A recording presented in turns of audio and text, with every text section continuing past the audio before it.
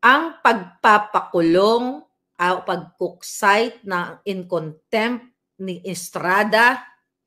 At nag-second demotion naman ito si Senator Bato na hindi man lang ipinagtanggol ang tama at nag, nagpalamon nga. Sabi ko kay Jinggoy nagpalunok. Tama ba? Nilamon siya ng bonggang-bongga. Ito ay gawa lahat ng Malacanang. Kasi right after, nag-celebrate si Liza Tanas at ang mga asawa ng mga senador na katuwang ni Lisa para i-cite in contempt at gawing Senate President si Escudero. Sa kaalaman ng mga lahat, kahit anong gawin pala, kahit gaano pa ang uh, isasagot ni Agent Morales nung May 20 ang goal ni Jinggoy dahil sa basbas ng Malacanang ay i-contempt si Morales no matter what. Kahit anong gawin ni Morales, yan ang plano nila na i-contempt at palalabasin na si Morales ang sinungaling. Pero dito sa ating exhibit mamaya-maya, mga palangga, sa ipapalabas ko, dapat ipatawag din ang Makati Med o Makati Medical Center. Dahil sa pag kung pag ano nila pag uh, kisabwa uh, I don't know kung alam ng bigyan natin ng benefit of the doubt itong si Makati Med. Okay? Dahil sa pagsabwatan kay Kumar, James Kumar, na kasabwat din ni Liza Marcos doon nga sa napanood nating video sa CCTV na gustong aregluhin si Agent Morales through Picoy and doon sa pag-uusap kay Romy Enriquez. Ngayon, mga kababayan, kailangan ninyong uh, buksan ang inyong isipan sa lahat, papakita ko na susunod sa inyo, babayan. So ngayon, sino dapat ang makulong? Itong Jutang Genimis na to, na Jinggoy Estrada, nakasabwat ka ba ni Kumar? Kasi may picture kayo ni Kumar. Maraming kasama si Kumar sa pictures. Si Escudero na parang sweet-sweet sila na parang magjowa. Si Lisa. Tandaan nyo, itong si James Kumar. Kasama ka, James Kumar sa listahan. Okay? Kayo nila Francis Chua, kayo ni Lisa. Kasama ka sa doon sa involved involved ka sa pagkikidnap sa pangdurukot na nakapandurukot ng mga bata na may basbas din si Lisa na si Lisa rin ang mastermind dito sa Turkey. Right? Huwag ka mag-acting James Kumar na ikaw ay may sakit na ikaw ay may TIA, Transient Ischemic Attack, na sinasabi ng iyong abogado. Mamaya, bibistuhin, well, nabisto ka na, pero papakita natin. Ah, uh, putangay na, talagang nakakagigil po eh. Ikaw, Jinggoy, makinig ka. Ikaw ba to na nagsuri-suri ka pa kay James Kumar? I-play ko lang yung, uh, ito, yung uh, message kasi you know what, nung hearing kasi busy ako ka. Sabi ko hindi ko na panood actual pero naririnig ko lang sa akin tenga yung audio. Pakinig ko lang to sa inyo. Uh, Senator, um, last Friday we were going to the Parañaque prosecutor's office to, to file a case against the people who used his name. However, on our way there, um, he started uh, getting dizzy So we brought him straight to Makati Medical because we called his doctor. And apparently, uh, we have the report now from the doctor that he had a transient ischemic attack, which is a stroke. And uh, when they when they checked him, uh, meron pong bara. I think 55% yung bara sa vein. And at the same time, he was suffering from acute bronchitis, Your Honor. So may tubig din sa baga. So if the uh, any doctors from uh, the Senate or from the parties, even if we bring the the reports, the scans, they will be able to find the, the same. They will have the same findings, Your Honor. Since we are... Okay, mga kababayan, ito. Ang sabi ng kanyang lawyer na nagsuffer daw si Kumar. Okay? Dito sa mild stroke. Okay? So, tignan natin, mga kababayan. Okay, kahit i-google nyo dyan sa lahat ng mga medical uh, website, okay? Transient ischemic attack or TIA. Ano daw ba ito? At ito, maiksi lang. A transient ischemic attack is a stroke that lasts only a few minutes. It occurs when, when the blood supply to part, uh, to part of the brain is briefly interrupted. TIA symptoms usually occur suddenly are similar to those stroke but not last as long. Most symptoms of TIA disappear within an hour, although they may persist for up to 24 hours. Symptoms can include, ito yung uh, numbness or weakness in the face, arms, or legs, especially on one side of the body.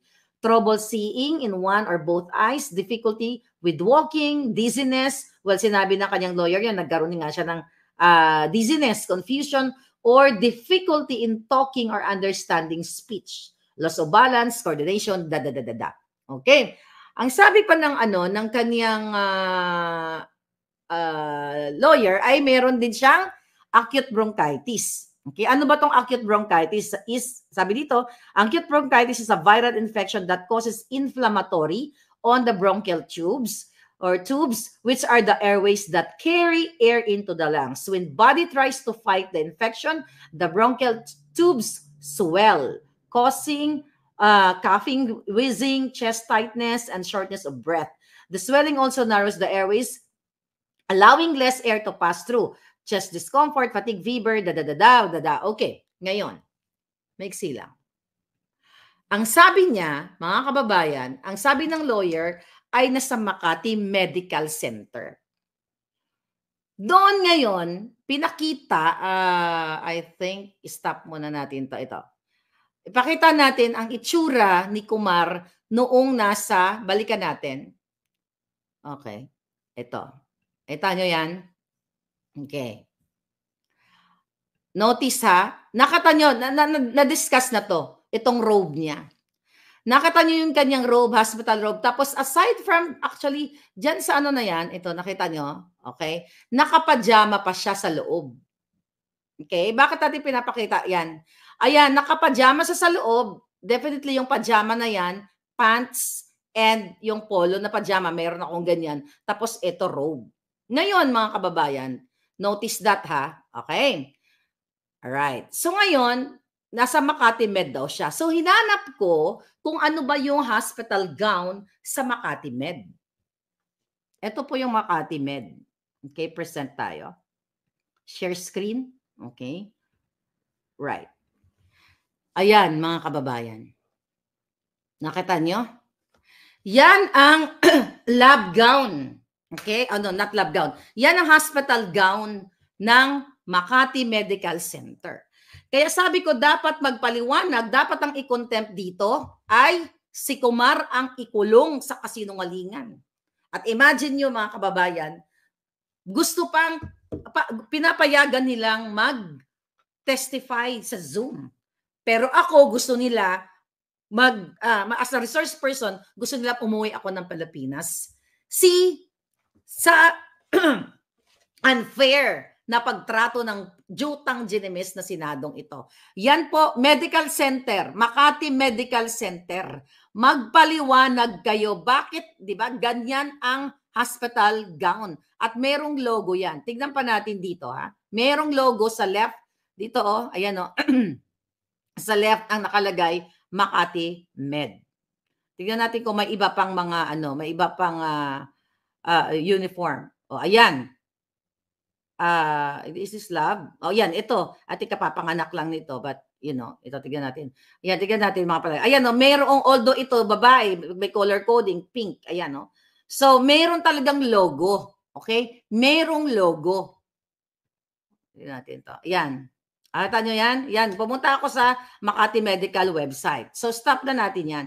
Okay? Gusto ko lang i-prove sa inyo na wala wala si James Kumar sa Makati Medical Center. At ngayon, mga kapalagga, kaya siya dapat ang ma-cite in contempt. Ito dapat ang tutukan ng uh, itong Jinggoy na ito. But what do you expect with Jinggoy? Ang intention niya talaga is to contempt, to cite in contempt kay Morales. So ngayon mga kababayan, bakit ba nagsusuot ng hospital gown ang mga pasyente sa ospital? 'Di ba? Kasi kung may mga tubo ka, may may swero ka or may opening ka, may colostomy ka o kung anuman na medical attachment sa iyong katawan ay accessible sa mga medical practitioners.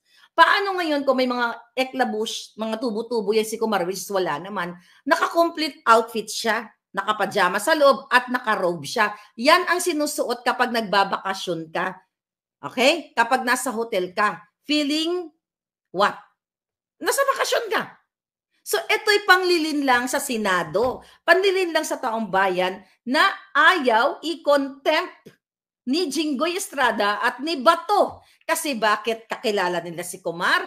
Ano ang kanilang mga business dealing? Pero si Morales na nandoon, humarap, hinarap sila ng bong ng ng you know, eye to eye. 'Di ba? Flesh to flesh. Kinuntem kasi yan ang utos ni Lisa Tanas kapalit ng posisyon o baka panalo sa loto na naman nung may nalo na naman sa loto da, para i-contempt, cite in contempt si Morales. Ngayon mga kababayan, nakita nyo na ang hospital gown ng Makati Med ay ibang-iba doon sa palabas ni Kumar.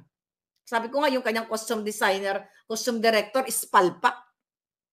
Dapat man lang, may power naman si Lisa. Eh dapat naman Lisa, sanay ka naman magnakaw, buwa ka ng Genemis ka. Nagnakaw ka sana ng hospital gown sa Makati Med para kumpleto ang drama ninyo. So ngayon, alam niyo naman siguro na kaya nag-hospital gown ang pasyente, mga kababayan, para sa konbinyente. Both parties, pasyente, nurses, doctors, para, syempre, at ang, ang tali niya nasa likod. Di ba? Alam niyo yan, di ba? So ngayon, mga kababayan, ano ang eksena ngayon? So right after ay nakipag-meet up, ito nga nagsisend kanina. Okay?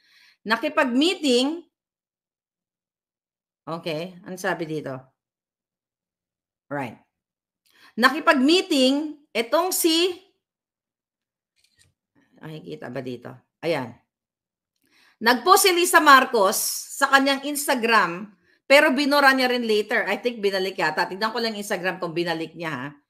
Nakipag-meeting nga dito o nakipag nakipag uh, nag-break bread daw sila. Okay?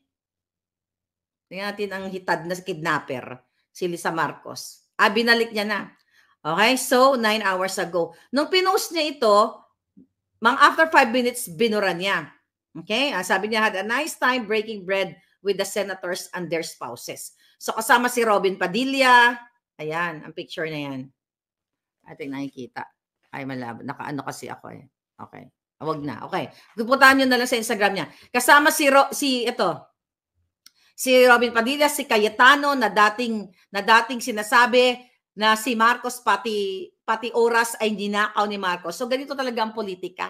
Magkano kaya ang kapalit sa bunganga ni Cayetano o lahat ng mga senador? Okay? na nakipag al, nakipag nakipag nagiging tuta ni Lisa Araneta Marcos. So sino yung nando doon? Oh. Ayan si Tulfo. Oh, si Escudero, Villar, ayan si Estrada. Oh, si Ligarda. Hmm. Sino to mga to? Cayetano, is this Pia Cayetano? Yeah, Pia Cayetano, magkapatid. At si Gatchalian. At saka si, is this Tolentino? Yeah, Tolentino. Anyway, mga kababayan, napagalaman natin na kahit anong gawin, kahit ano pang isagot ni Morales doon sa Senate hearing, ay ang mission ni Jinggoy is to convict Morales. Ay no, to convict. To uh, cite in contempt Morales. Kaya planado nila. Kaya right after, nag-celebrate ang mga senator dahil nga sa utos ni Lisa Araneta Marcos at ni Marcos Jr.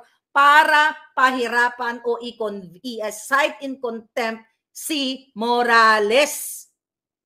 At mismong lumabas sa bibig ni Isko ni uh, uh, Mig Zubiri yung pagpapaalis sa kanya 'di ba? Ang pag uh, supposedly uh, coup de, parang coup, okay? Doon sa loob ng uh, Senado ay talagang pinlano na since January pa lang this year na ito. So ngayon, maliwanag pa sa sikat ng araw na itong ginagawa sa pagpigil o pag pag uh, pag uh, cancel for a while nitong PIDEA leaks na ito ang utos si Marcos Jr. at itong si Bangag at itong si kidnapper.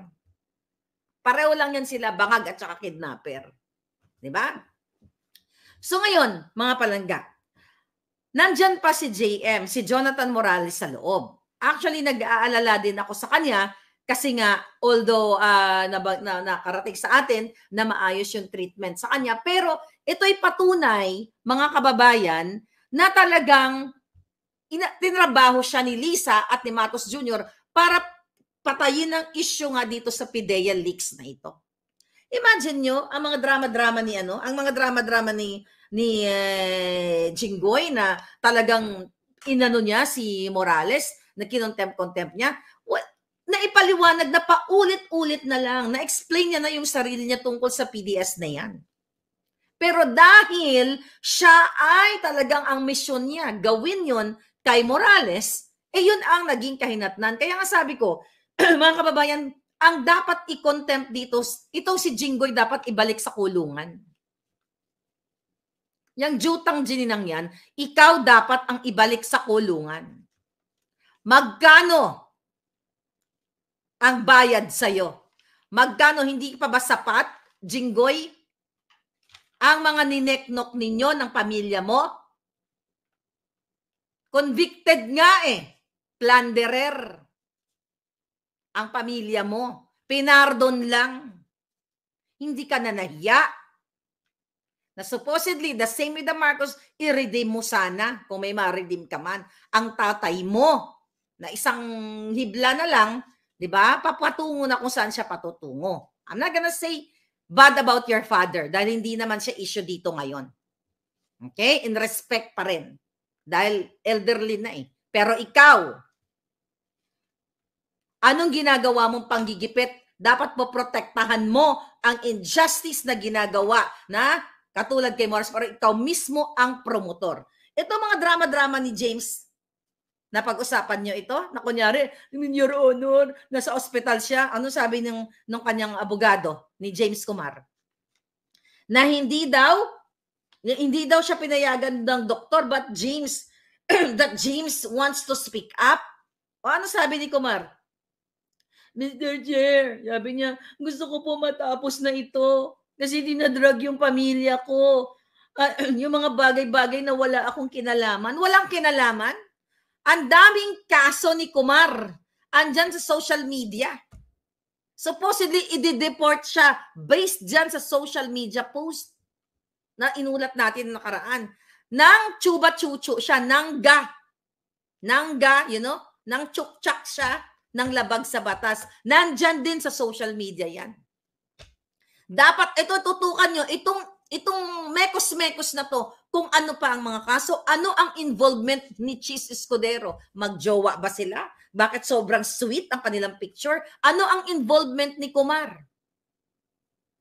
Sa mga politikong ito kasi ang pangalan ni Kumar sa inyong kaalaman, James Kumar at ni Lisa Araneta Marcos at Chua magkadikit sa UN na final ng distressed mother na sila ay kasabwat o nag-connive sila, nag-conspire sila sa pag uh, dukot sa mga bata. Kaya nga, kung matino ang gobyerno natin, ayang si Kumar, lalabas ang lahat ng kasalanan niya, ang lahat ng involvement niya na siya ay sangkot sa mga illegal. Di ba yung, yung ano natin, may nag-email sa atin na noon pa ang trabaho nila ay mag-extort.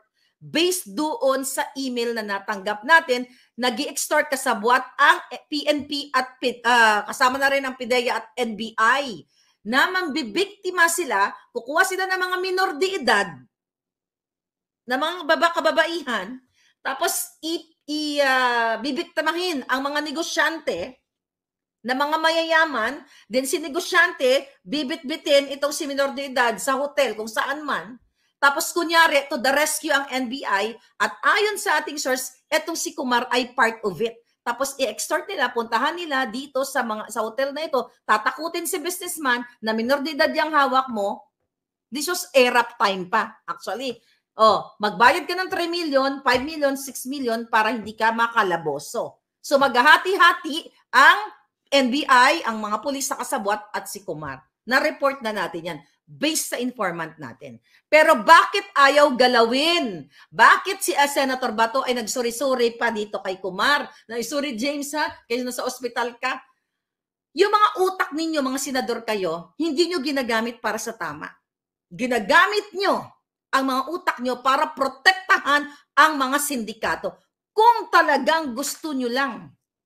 Kung talagang gusto nyo talagang ito, patunayan sa taong bayan na kayo ay uh, nasa tama. Dito sa pinresent ni Kumar na siya ay nasa ospital, mga kababayan ng Makati Medical Center, makikita, nakita nyo kanina na ipinresent natin sa inyo na hindi yan ang hospital gown na ginagamit ng mga pasyente sa Makati Med. Sa halip, may mga taga Makati Med ba dito? May logo pa yung kanilang uh, hospital gown. So yung hindi-hindi, yung suot-suot ni Kumar na nasa hotel siya at naka-pajama pa siya ng bonggang-bongga. So ito'y si Kumar ay sinungaling pero sa halip, humingi pa ng kapatawaran si Senator Bato. Ano ang sabi niya dito? I apologize.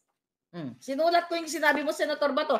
Nag-apologize ka pa kay Kumar. Sabi, ang sabi kasi ni Kumar, okay, Mr. Chen, gusto ko pong matapos na ito kasi dinadrag yung pamilya ko. Kunyari, bulol-bulol siya. Ni wala ka man lang nakitang may sipon siya o may ubo siya as effect doon sa uh, may tubig daw siya sa lungs at meron nga daw siyang uh, mild stroke. Wala kang makikita manifestation na siya ay hirap na hirap. Sa halip, yung acting niya na nadadamay po yung pamilya ko nino, parang ngongo para lang siyang umarte na kunyari siya may, may sakit. Nadadama na stroke na po ako. Alam mo, Kumar, buwa ka ng Genemis na napakasinungaling mo. Ang arte mo, kasi nung walang ikaw dapat ang nakakulong, hindi sa baba ng Senado, nakakulong ka sa totoong rehas. Dapat nga hindi lang kulong eh.